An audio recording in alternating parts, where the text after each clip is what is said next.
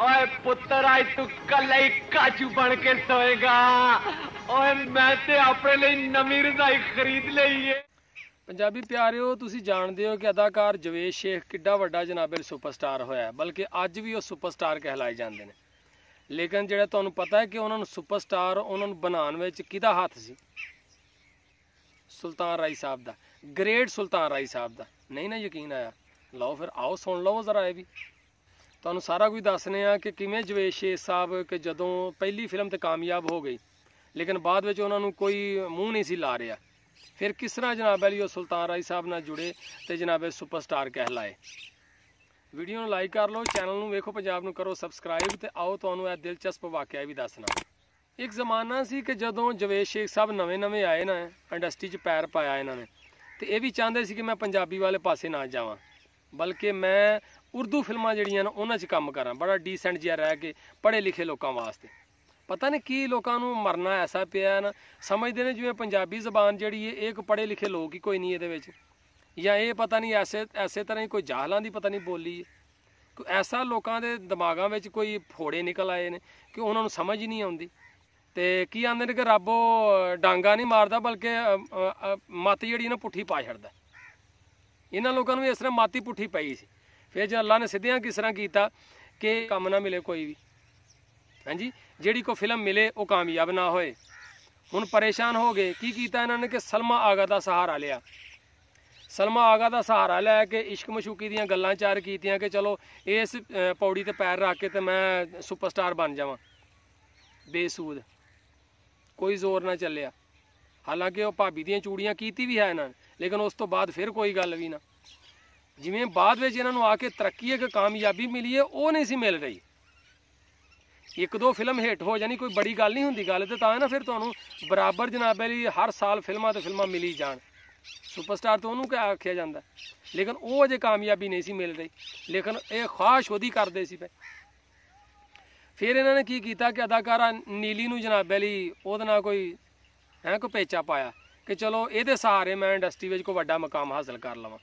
ਉਹ ਵੀ ਵਿਚਾਰੀ ਸਮਝ ਬੈਠੀ ਕਿ ਇਹ ਵਾਕਈ ਮੇਰੇ ਨਾਲ ਸੱਚਾ ਪਿਆਰ ਕਰਦਾ ਉਹਨੇ ਨੀਲੀ ਨੇ ਬੜੀਆਂ ਸਿਫਾਰਿਸ਼ਾਂ ਕੀਤੀਆਂ ਜਵੇਦ ਸ਼ੇਖ ਸਾਹਿਬ ਵਾਸਤੇ। ਬੜੀਆਂ ਸਿਫਾਰਿਸ਼ਾਂ ਕੀਤੀਆਂ। ਆਖਰ ਜਨਾਬ ਅਲੀ ਨਜ਼ਰੁਲ ਇਸਲਾਮ ਸਾਹਿਬ ਨੇ ਮਿਹ- ਮਿਹਰਬਾਨੀ ਕੀਤੀ। ਬਹੁਤ ਵੱਡਾ ਤੁਹਾਨੂੰ ਪਤਾ ਲਾਲੀਵੁੱਡ ਦਾ ਡਾਇਰੈਕਟਰ ਹੋਇਆ ਨਜ਼ਰੁਲ ਇਸਲਾਮ। ਜਿਨ੍ਹਾਂ ਨੇ ਫਿਲਮ ਸ਼ੁਰੂ ਕੀਤੀ, ਬਤੌਰ ਹੀਰੋਇਨ ਜਨਾਬ ਅਲੀ ਨੀਲੀ, ਬਤੌਰ ਹੀਰੋ ਜਵੇਦ ਸ਼ੇਖ ਨੂੰ ਲਿਆ। ਹੁਣ ਫਿਲਮ ਮੁਕੰਮਲ ਹੋ ਗਈ। ਫਿਲਮ ਦਾ ਨਾਮ ਸੀ ਮੈਡਮ ਬਾਵਰੀ। ਆਪਣੇ ਜ਼ਮਾਨੇ ਤੁਸੀਂ ਕਹੋਗੇ, ਯਾਰ, ਉਹ ਤਾਂ ਬੜੀ ਸੁਪਰ ਹਿੱਟ ਮੂਵੀ ਹੈ। ਭਾਈ, ਉਹ ਸੁਣ ਲਵੋ ਪਹਿਲੇ ਕਿ ਸੁਪਰ ਹਿੱਟ ਹੋਈ ਕਿਸ ਤਰ੍ਹਾਂ। ਉਹ ਵੀ ਤੁਹਾਨੂੰ ਵਾਕਿਆ ਦੱਸਣਾ ਵਾ ਕਿ ਸੁਲਤਾਨ ਰਾਈ ਨੇ ਕੀ ਕਿਰਦਾਰ ਕੀਤਾ ਉਹਦੇ ਵਾਸਤੇ। ਉਹਦੇ ਵਿੱਚ ਸੁਲਤਾਨ ਰਾਈ ਸਾਹਿਬ ਨੂੰ ਕਾਸਟ ਨਹੀਂ ਸੀ ਕੀਤਾ ਪਹਿਲੇ। ਫਿਲਮ ਜਦੋਂ ਮੁਕੰਮਲ ਹੋ ਗਈ ਹੈ ਨਾ, ਇਹ ਜਨਾਬ ਵਾਲੀ ਡਿਸਟ੍ਰੀਬਿਊਟਰ ਜਿਹੜੇ ਚੁੱਕਣ ਨੂੰ ਤਿਆਰ ਕੋਈ ਨਾ। ਉਹ ਕਹਿਣਾ, ਅਸੀਂ ਤਾਂ ਨਹੀਂ ਲੈਣੀ ਫਿਲਮ।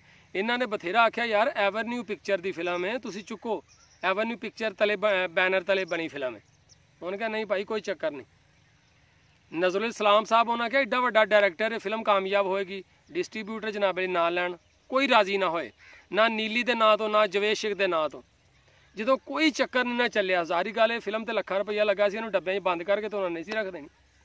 ਲਿਹਾਜ਼ਾ ਐਵਨਿਊ ਪਿਕਚਰ ਵਾਲਿਆਂ ਨੇ ਕੀ ਕੀਤਾ? ਇੱਕ ਤਰਕੀਬ ਸੋਚੀ ਉਹਨਾਂ। ਉਹਨਾਂ ਕਿਹਾ, ਕਿਉਂ ਨਾ ਇਹਦੇ ਵਿੱਚ ਸੁਲਤਾਨ ਰਾਏ ਸਾਹਿਬ ਨੂੰ ਜਿਹੜਾ ਹੈ ਨਾ, ਉਹ ਕੋਈ ਸ਼ਾਮਲ ਕੀਤਾ ਜਾਏ? ਲਿਹਾਜ਼ਾ ਫਿਲਮ ਮੁਕੰਮਲ ਪਈ ਹੈ ਸੁਲਤਾਨ ਰਾਈ ਸਾਹਿਬ ਵਾਸਤੇ ਦੁਬਾਰਾ ਜਨਾਬ ਅਲੀ ਫੌਕੀ ਸ਼ਾਹ ਦੇ ਨਾਂ ਤੋਂ ਇੱਕ ਛੋਟਾ ਜਿੰਨਾ ਕਰੈਕਟਰ ਲਿਖਿਆ ਗਿਆ। ਜੇ ਪਾਗਲ ਤੇ ਤੈਨੂੰ ਮਾਫ ਕੀਤਾ। ਤੇ ਜੇ ਬੇਵਕੂਫ ਹੈ ਤੇ ਇੱਥੋਂ ਚਲਾ ਜਾ। ਉਹਨਾਂ ਦੀ ਉਹ ਸ਼ੂਟਿੰਗ ਕਰਕੇ ਰਾਈ ਸਾਹਿਬ ਐਸੇ ਸ਼ਹਜ਼ਾਦੇ ਬੰਦੇ ਕਿ ਜੋ ਕਿਸੇ ਨੇ ਕਹਿ ਦਿੱਤਾ ਨਾ ਬਿਲਾ ਮੁਆਵਜ਼ਾ ਵੀ ਕੰਮ ਕਰ ਦਿੰਦੇ ਹੁੰਦੇ ਸਨ। ਹਾਲਾਂਕਿ ਉਹ ਕਹਿੰਦੇ, ਯਾਰ, ਫਿਲਮ ਮੁਕੰਮਲ ਪਈ ਏ, ਮੈਂ ਕਿਉਂ ਕੰਮ ਕਰਾਂ ਇਹਦੇ ਵਿੱਚ? ਛੋਟੇ ਜਿੰਨੇ ਰੋਲ ਵਾਸਤੇ। ਫਿਰ ਆਪਣੇ ਜ਼ਮਾਨੇ ਤੇ ਉਹ ਜਨਾਬ ਅਲੀ ਗ੍ਰੇਟ ਉਦੋਂ, ਜਿਹੜਾ ਉਨ- ਉਸ ਵੇਲੇ ਉਹਨਾਂ ਦੇ ਪਾਏ ਦਾ ਅਦਾਕਾਰ ਕੋਈ ਨਹੀਂ ਸੀ। ਫਿਰ ਫਿਰ ਉਹਨਾਂ ਉਹਨਾਂ ਕੋਲ ਡੇਟਾ ਵੀ ਕੋਈ ਨਾ। ਫਿਰ ਵੀ ਉਹਨਾਂ ਨੇ ਉਹ ਛੋਟਾ ਜਿੰਨਾ ਕਰੈਕਟਰ ਦੇ ਦਿੱਤਾ ਕਿ ਚਲੋ ਯਾਰ ਇਹਨਾਂ ਇੰਨੇ ਪੈਸੇ ਲਾਏ ਨੇ, ਚਲੋ ਇਹਨਾਂ ਦੇ ਪੂਰੇ ਹੋ ਜਾਣ। ਲਿਹਾਜ਼ਾ ਉਹ ਛੋਟਾ ਜਿੰਨਾ ਰੋਲ ਕਰਕੇ ਉਹਨਾਂ ਨੇ ਵਿੱਚ ਐਡ ਕਰ ਦਿੱਤਾ। ਜਦੋਂ ਰਾਈ ਸਾਹਿਬ ਦਾ ਨਾਂ ਅੱਗੇ ਚੱਲਿਆ, ਅੱਗੇ ਗਿਆ ਡਿਸਟ੍ਰੀਬਿਊਟਰ ਕੋਲ, ਉਹ ਤੇ ਉੱਡਦੇ ਆਏ। ਫਿਲਮ ਹੱਥੋਂ ਹੱਥ ਜਿਹੜੀ ਵਿਕ ਗਈ। ਖਾਲੀ ਵਿਕੀ ਨਹੀਂ ਫਿਰ। ਫਿਲਮ ਸਿਨੇਮਾ 'ਚ ਲੱਗੀ ਤੇ ਉਹਨੇ ਰਿਕਾਰਡ ਬਿਜ਼ਨਸ ਕੀਤਾ। ਸੁਪਰ ਡੁਪਰ ਹਿੱਟ ਰਹੀ। ਕਿਹਦੀ ਵਜ੍ਹਾ ਤੋਂ ਵਾਲਾ? ਨੀਲੀ ਦੀ ਵਜ੍ਹਾ ਤੋਂ? ਨਹੀਂ। ਨਜ਼ਰੁਲ ਇਸਲਾਮ ਦੀ ਵਜ੍ਹਾ ਤੋਂ? ਨਹੀਂ। ਜਿਹਨੂੰ ਤੁਸੀਂ ਸੁਪਰਸਟਾਰ ਕਹਿੰਦੇ ਹੋ, ਉਰਦੂ ਫਿਲਮਾਂ ਦਾ ਜਵੇਦ ਸ਼ੇਖ, ਉਹਦੀ ਵਜ੍ਹਾ ਤੋਂ? ਨਹੀਂ। ਰਾਈ ਸਾਹਿਬ ਦੀ ਵਜ੍ਹਾ ਤੋਂ। ਉਸ ਅੱਲਾ ਦੇ ਨੇਕ ਬੰਦੇ ਦੀ ਵਜ੍ਹਾ ਤੋਂ। ਹਾਂਜੀ ਕਿੰਨੇ ਕਿੰਨੇ ਅਹਿਸਾਨਾਤ ਨੇ ਉਸ ਬੰਦੇ ਦੇ ਅਦਾਕਾਰਾਂ ਦੇ ਉੱਤੇ, ਇਸ ਇੰਡਸਟਰੀ ਦੇ ਉੱਤੇ? ਅੱਜ ਤੁਸੀਂ ਬੇਸ਼ੱਕ ਕਹਿੰਦੇ ਹੋ ਕਿ ਉਹ ਫਲਾਣਾ ਸੁਪਰਸਟਾਰ, ਉਹ ਫਲਾਣਾ ਸੁਪਰਸਟਾਰ, ਉਹਦੇ ਪਿੱਛੇ ਤੁਸੀਂ ਬਹੁਤਿਆਂ ਦੇ ਪਿੱਛੇ ਤੁਸੀਂ ਵੇਖੋਗੇ ਤੇ ਪਿੱਛੇ ਰਾਈ ਸਾਹਿਬ ਖੜੇ ਹੋਣਗੇ। ਫਿਰ ਜਵੇਸ਼ ਸ਼ੇਖ ਨੇ ਰਾਈ ਸਾਹਿਬ ਦੇ ਨਾਲ ਬੜੀਆਂ ਫਿਲਮਾਂ ਕੀਤੀਆਂ, ਐਕਸ਼ਨ ਫਿਲਮਾਂ ਬੜੀਆਂ ਕੀਤੀਆਂ। ਹਾਲਾਂਕਿ ਪਹਿਲੇ ਤੇ ਐਸੇ ਤਰ੍ਹਾਂ ਹੀ ਸਨ, ਹਾਂਜੀ? ਫਿਰ ਐਕਸ਼ਨ ਫਿਲਮਾਂ ਬੜੀਆਂ ਕੀਤੀਆਂ ਤੇ ਬੜੇ ਬੜੇ ਜਨਾਬ ਲਈ ਉਹਨਾਂ ਨੇ ਕਾਮਯਾਬ ਫਿਲਮਾਂ ਜਿਹੜੀਆਂ ਨੇ ਦਿੱਤੀਆਂ ਨੇ। ਤੇ ਫਿਰ ਹੀ ਸੁਪਰਸਟਾਰ ਬਣੇ ਹੋ ਇਸ ਵਾਸਤੇ ਕੋਈ ਵੀ ਜ਼ਬਾਨ ਹੈ ਨਾ, ਜਦੋਂ ਤੁਸੀਂ ਸਭ ਜ਼ਬਾਨਾਂ ਦਾ ਇਹਤਰਾਮ ਕਰੋ, ਰੱਬ ਦੀਆਂ ਉਤਾਰੀਆਂ ਜ਼ਬਾਨਾਂ ਨੇ। ਲੇਕਿਨ ਇਹ ਨਾ ਖਿਆਲ ਕਰਿਆ ਕਰੋ ਯਾਰ, ਅਸੀਂ ਇਹਦੇ ਵਿੱਚ ਕੰਮ ਨਹੀਂ ਕਰਨਾ। ਇਹ- ਤੁਸੀਂ ਅਦਾਕਾਰ ਕਰ ਦਿਓ ਅਦਾਕਾਰੀ, ਅਦਾਕਾਰ ਇਹਨੂੰ ਹੀ ਕਿਹਾ ਜਾਂਦਾ ਹੈ ਕਿ ਹਰ ਰੋਲ ਵਿੱਚ, ਹਰ ਜ਼ਬਾਨ ਵਿੱਚ ਜਨਾਬ ਅਲੀ, ਉਹ ਆਪਣਾ ਕੰਮ ਕਰਕੇ ਵਿਖਾਏ, ਆਪਣੇ ਆਪ ਨੂੰ ਮਨਵਾਏ। ਜਿਵੇਂ ਰਾਈ ਸਾਹਿਬ ਨੇ ਉਰਦੂ ਵੀ ਕੀਤੀਆਂ ਨੇ ਹਾਂਜੀ ਪੰਜਾਬੀ ਵੀ ਕੀਤੀਆਂ ਨੇ।